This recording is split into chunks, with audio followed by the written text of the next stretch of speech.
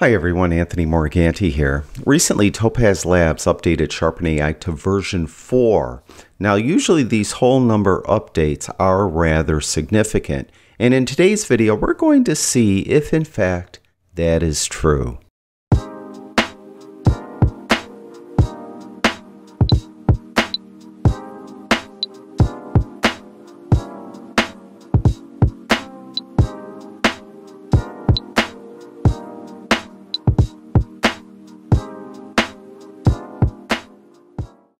This is a screenshot of part of an email I received from Topaz Labs where they mentioned what is new in this version 4.0. They have now native Apple M1 support.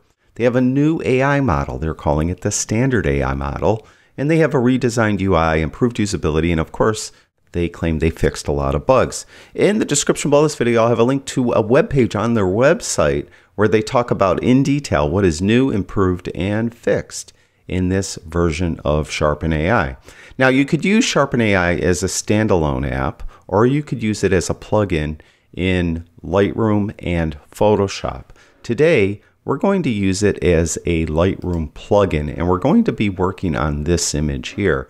You can see that this image is very, very blurry. I totally missed focus on this image. So we're going to use it as a Lightroom plugin. I'm going to right click right on the image, go down to Edit In, and then over to Topaz Sharpen AI. Now, if you use Sharpen AI as a standalone app, it will work on raw files directly. But if you use it as a Lightroom plugin, Lightroom has a limitation. Lightroom will not allow you to send a raw file to any plugin including Sharpen AI. So you'll have to send it as either a JPEG, PSD, or TIFF file. Topaz Labs recommends a TIFF file. Now this is a RAW file in Lightroom, so I have to send a copy, and I'll send it as the recommended TIFF ProPhoto RGB, 16 bits per component, resolution of 300, and no compression. Now click Edit. Now you'll see in the top left-hand corner there's a progress bar. Lightroom is creating this TIFF file with those specifications and it's sending it over directly into Sharpen AI. And you can see in the lower left hand corner there's a blue uh, progress bar. It said updating, and you can see it's done. And it did a great job, just really not doing anything. I just sending it over there. And I'll click right on the image and I'll get a before after. There's before and there's after. There's before there's after. Now, those of you that have watched my videos know that when Sharpen AI first came out a couple years ago, I did a video panning it. I thought it was junk. I didn't think it worked very well at all. Well, it's come a long way, and now it is one of the apps I go to when I have soft images like this one. And you could see, I mean, it really did a great job. Now, it has a lot of different features, though. I mean, I just loaded this image in here and it fixed it, right? But you could do this a little more manually if you want to. Over on the right hand side, it has a lot of different models, but it picked the sharpen model, or I'm sorry, it picked the motion blur very blurry model automatically because I have auto on. When you have auto on, what it will do is it will examine the image and determine which of the models it thinks will work best. And it will automatically apply it and then you could just you know keep it or leave it. Now, if you want to use a different model, what you'll need to do is turn this off. And when you do, you'll see all the models are right here.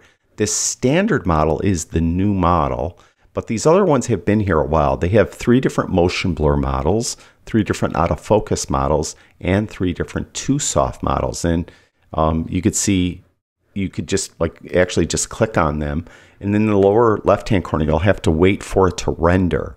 And once it renders, you could get an idea if that model looks any good. And the standard model looks pretty good. Now, one other factor is you have different um, parameters here. You have blur type. Is it motion blur or lens blur? Uh, you have the ability to increase or decrease sharpening, decrease or increase noise suppression, and the ability to remove artifacts by moving this slider as well. Now, also there's an auto setting for this. If you just have it on auto, it'll again will determine which blur type and the value for these sliders are optimum for the image you're working on. So you could have this really very kind of automatic. Just turn auto on here, have auto on here, let it update, and then you're done. And you could see it really kind of knew what it was doing. It did a good job. But again, if you want to, you know, see if you could do a little better, um, turn this off, go through the different models one by one. And by the way, when you first use Sharpen AI, it will have to download these models as you click on them. And each download for me, and I have relatively fast internet, uh, took like 30 seconds. I think my internet's like 200 megabits, whatever it is, the 200 level. Uh, so it's pretty fast, and it still took around 20 to 30 seconds for each of these. Some are larger than others. And you'll click on it, and you'll see a bar come across saying it's downloading it. Right now, you have to wait for it to update, of course. And you can see this one isn't as good as standard. And let's go to motion blur, very noisy. If you had noise in here, and you could see it's let that update. And that one's a little better than the previous one, but probably not as good as standard and so on. So you could click through all of these. And also you could come in and just manually move the sliders if you feel the need to. Um, and try it that way. Again, you have to always wait for it to update. So always be looking over in the left-hand side at this, um, this progress bar and see how it's doing. Now, you may have some that are really close to one another and you may want to compare them to each other. And you're able to do that if you go up here to the top. You have these different view modes. Right now we're in the single view mode. You could have this split view mode, and this will just give you a before after with the slider. So this still, you can't compare them to each other. You're just looking at a single one. If you want to compare one you're working on to the original image without any sharpening done to it, you'd use the side-by-side -side view. You'll have the original on the left, and you'll have the improved image on the right. But if you want to compare them to one another, you'll need to use comparison view. Here in comparison view, you could look at four different models at the same time. Now, of course, there's much more than four, right? There's 10 models, but you're able to look at four of them and you could compare them to each other. In the top left-hand corner, we have motion blur normal. Next to that, we have, excuse me, too soft, very blurry. In the lower left-hand corner, we have out of focus normal. And in the uh, lower right, we have too soft normal. Um, so you could just change these out. Just make one active. Let's say I want to uh, flip out, looks like out of focus normal is the worst. So I want to flip that one out with standard. Just make that active, then click on standard. And you'll see that it will exchange that with the standard model. And you can see the standard model is better. So you can kind of narrow it down uh, to see which one of these are better. What I recommend you do when you do this, make sure all of the models are on, model parameters are on auto so that you're comparing apples to apples. That way you could better determine which one is better when it's on auto. Then you could come into the model parameters and you could tweak it from that point forward. Now what I'm going to do for this image is I'm going to go to single view and I'm going to keep it on auto so it's take it's picking motion blur very blurry.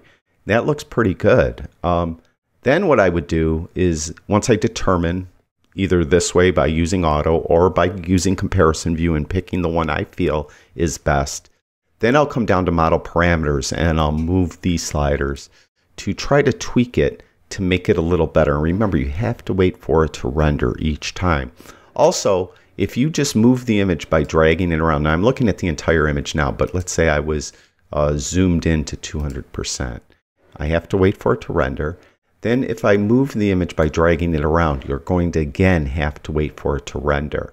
So there is uh, that kind of um, lag when you do it. You know, you always have to wait for it to render.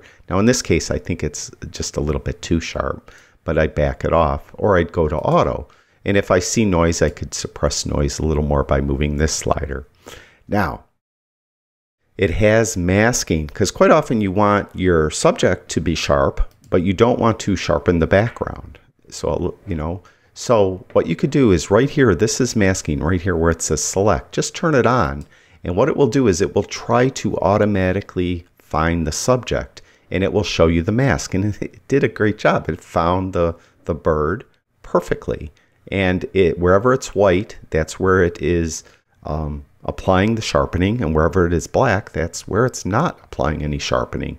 I have it set to auto subject. Now I could refine it if I click on refine, and you could see you could add to the mask or subtract from the mask with these two brushes here.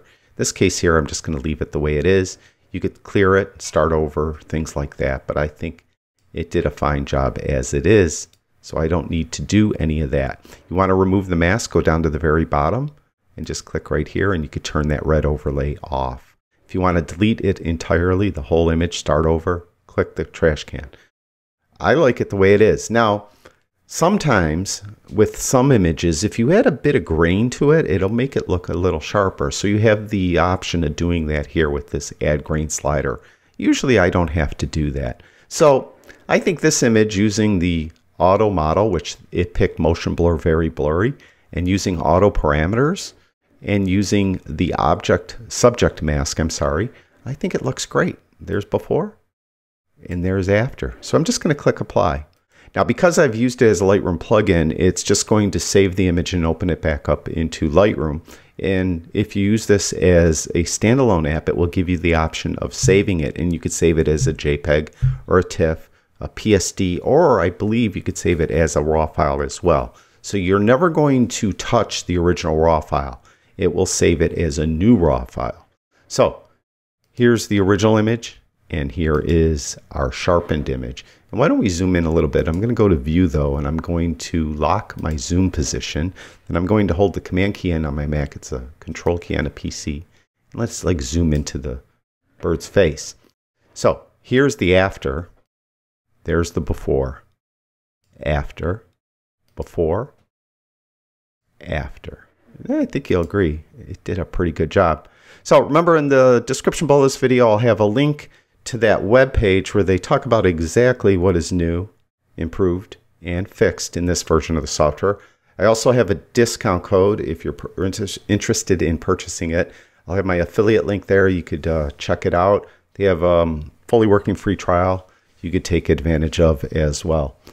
Thank you. Everyone watches my videos. I really do appreciate it. I'll talk to you guys soon.